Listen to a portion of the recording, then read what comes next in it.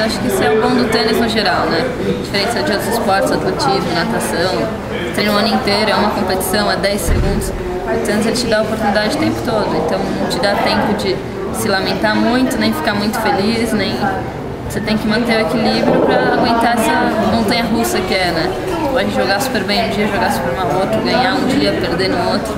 E a FED é isso, porque todo dia é um confronto novo e tem que estar inteiro, tem que estar pronto.